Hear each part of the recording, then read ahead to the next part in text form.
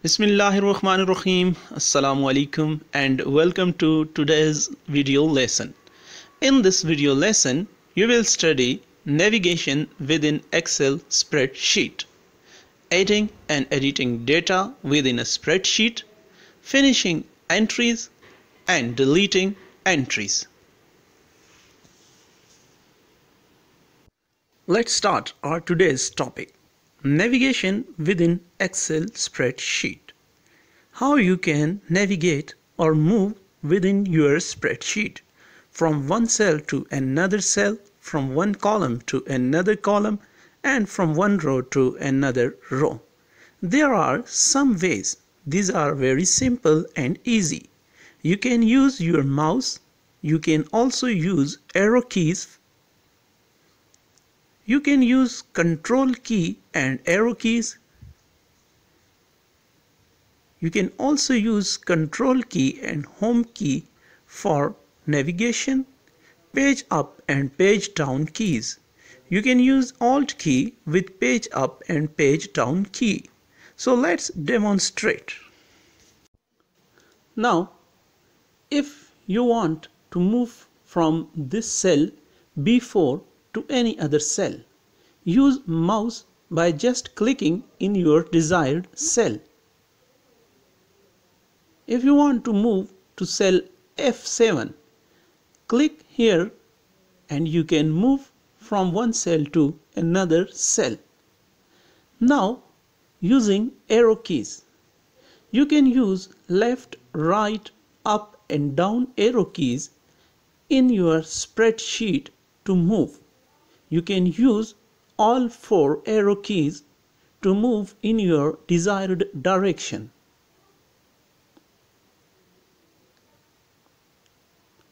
Using up arrow key, you will move upward.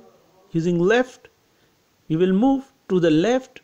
Using the right arrow keys, you can move to the right side and using down arrow key, you can move to the down cells if you want to the last cell in this column select control and down arrow key.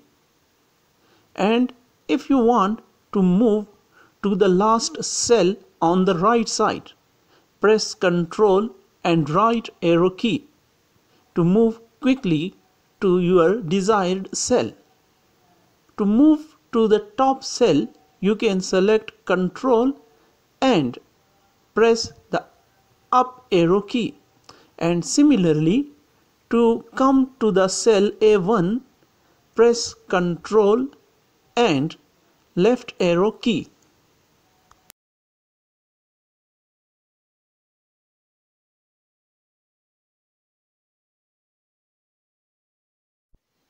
Now let us see the use of page up and page down. The row number 13 is the last visible row here on our screen. To move to the next row that is row number 14 you can use the page down button from your keyboard. Now to move to row number 1 or cell A1 we can use page up from our computer keyboard. Now let us study the use of Alt key with page up and page down button. Here on the screen you can see the columns A, B, C, D, E, F and G. This column G is the last visible column and if we want to move to the next column we can use Alt key with page up. Here we move to the next H column. So Alt plus page up will move you to the invisible column on your screen. Similarly, if you want to come back to the first column, press Alt and page down key. Now, Control key and Home key. If you are anywhere in your table and want to come to cell A1, just simply press Control key and Home key from your keyboard and you will move to cell A1 in this manner. If you are anywhere in the table, you can use control key and home key to move to cell A1.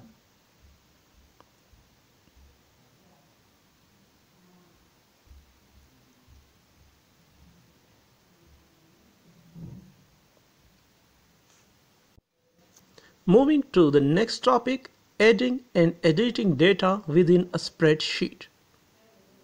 For this, you can type the data directly in a cell. You can type the data in the formula bar and you can use copy and paste function. Let's demonstrate. Now we will demonstrate how we can add or edit data in a cell. Here select any cell you want to add data and then simply type your data into the cell. Here I select another one and make some changes. This is how you can type data directly into the cell. Now you can type data in formula bar. Select any cell you want to make changes or edit or add data and then go to formula bar and type your data in the formula bar. Here you can see changes you want or made. Now another way is to copy and paste your data. Select the cell you want to copy data from by right clicking on the cell and select the menu. This highlighting border shows you the selected cell. Click on the cell and now you have options of copy here you can use Ctrl C also from your keyboard. Copy the data and place anywhere and then Ctrl V or simply select from this menu. This is how you can add, edit your data in the table.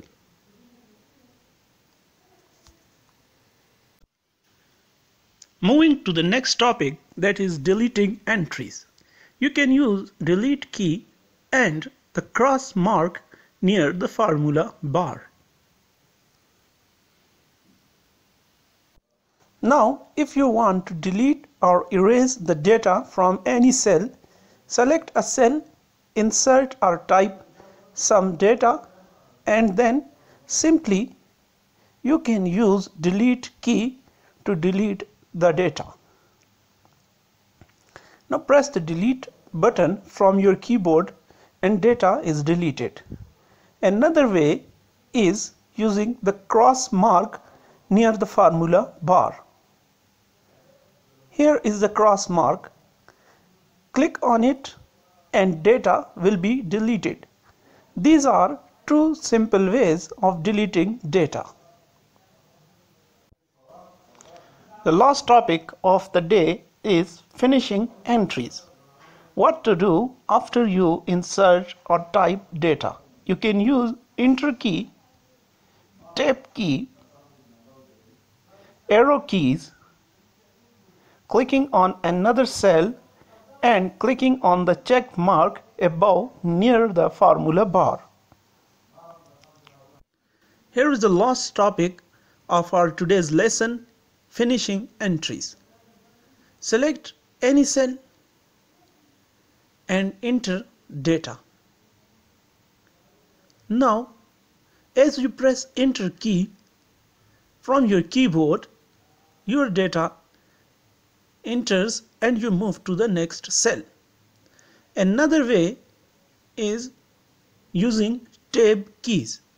You can use tab keys to finish entries into a cell. Next is arrow keys.